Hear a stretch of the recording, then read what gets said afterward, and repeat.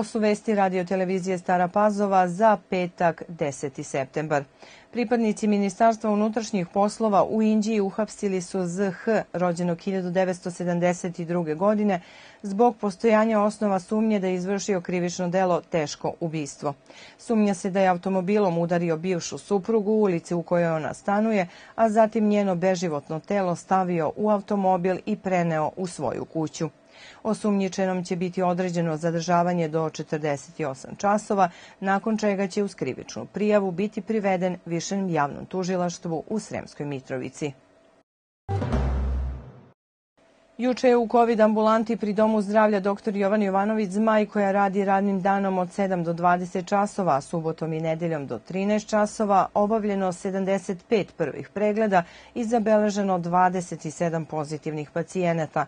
10 do 15 procenata vakcinisanih sugrađana bude evidentirano kao pozitivno, ostali pozitivni uglavnom još nisu primili ni jednu dozu cepiva.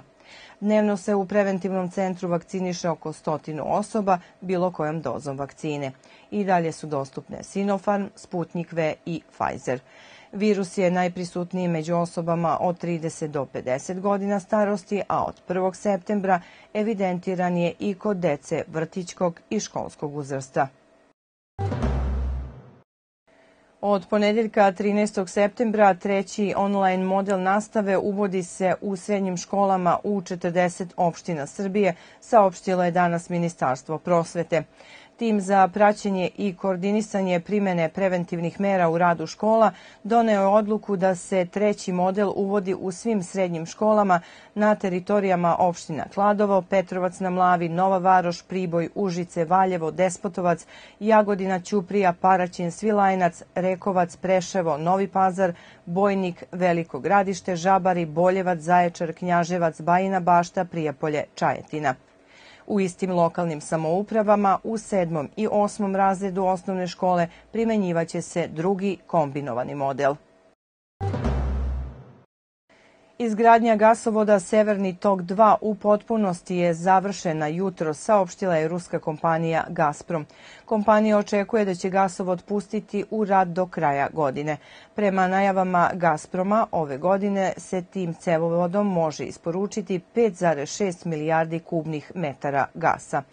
Njujorska agencija Bloomberg je prenela, pozivajući se na neimenovane izvore, da Gazprom planira da počne isporuke gasa kroz prvi krak Severnog toka 2 od 1. oktobra, a kroz oba kraka do 1. decembra. RŽD International ogranak u Srbiji obaveštava javnost da su završeni radovi na postavljanju kontaktne elektromreže na deonici brze pruge Stara Pazova Indija. Radovi se u narednom periodu nastavljaju na deonicama brze pruge prema Novom Sadu. I pored toga što je saobraćaj vozova obustavljen, volt kontaktne mreže na ovoj deonici je pod stalnim naponom od 25 kV. Približavanje vodu kontaktne mreže na rastojanju manjem od 2 metra je opasno po život i zdravlje sa mogućim tragičnim posledicama, navodi se u obaveštenju koje je stiglo u redakciju radiotelevizije Stara Pazova. Udruženje pčelara Jedinstvo i Stare Pazove sutra će učestvovati na četvrtom pčelarskom sajmu Jugoistočnog Balkana u Vranju. Iz Staropazovačke opštine odlazi 52 pčelara koji će imati priliku da predstave svoje proizvode, ali i da se upoznaju sa širokom ponudom pčelinjih proizvoda i opreme za pčelarstvo.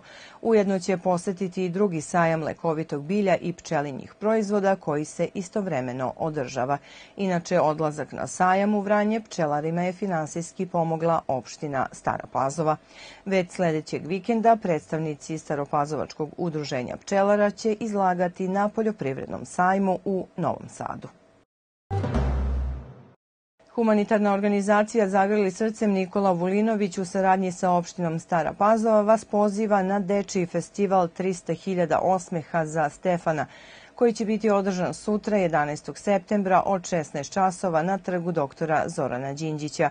Brojni prijatelji ove humanitarne organizacije, pojedinci, ustanove i organizacije iz Staropazovačke opštine, ali i iz Inđije, Novih Karlovaca, Sremske Mitrovice, Batajnice, Novog Sada, Beograda, pripremaju animacije, tobogane, tramboline, plesni i muzički program, prodajne štandove bogate raznim proizvodima, vrednu tombolu, kako bi Stefan Subotić iz Belegiša primio lek koji košta 400.000 evra. U nedelju 12. septembra u Novim Banovcima biće sprovedena redovna akcija dobrovoljnog davanja krvi. Transfuzio mobil će se nalaziti ispred osnovne škole u vremenu od 9 do 13 časova. Akciju organizuju Zavod za transfuziju krvi Vojvodine i Opštinski crveni krst. U petom kolu Srpske lige Vojvodina OFK Kikinda iz istoimenog mesta ugostiće jedinstvo i stare pazove. Omladinac iz Novih Banovaca na svom terenu ugostiće OFK Stari grad iz Bačke Palanke, dok će ekipa Feniksa 1995 na svom terenu odigrati utakmicu protiv OFK Vršca. Sve utakmice odigraće se u subotu od 16 časova a u petom kolu Vojvođanske lige Juk, Dunavi Starih Banovaca, domaćin je Slobodi iz Donjeg Tovarnika, dok će ekipa Donjeg Srema iz Pećinaca dočekati Novopazovački radnički na svom terenu. Obe utakmice su na programu u nedelju od 16 časova. U petom kolu Sremske lige u nedelju od 16 časova Sremac iz Vojke ugostiće Jadran iz Golubinaca. Rukometašice mladosti iz Nove Pazove u subotu startuju novu sezonu u najelitnijem domaćem takmičenju. U prvom kolu Arkus Lige u sportskoj hali osnovne škole u Novoj Pazovi igraće sa ekipom Naise iz Niša. Utakmica počinje u 18 časova. Novopazovčanke od ove sezone imaju novog trenera. U pitanju je Mile Malešević, stručnjak koji ima dugogodišnje iskustvo rada u inostranstvu, od toga čak 27 godina u Nemačkoj. Pozivaju sve ljubitelje rukometa da ih podrže u pokušaju da osvoje prve bodove u novoj sezoni.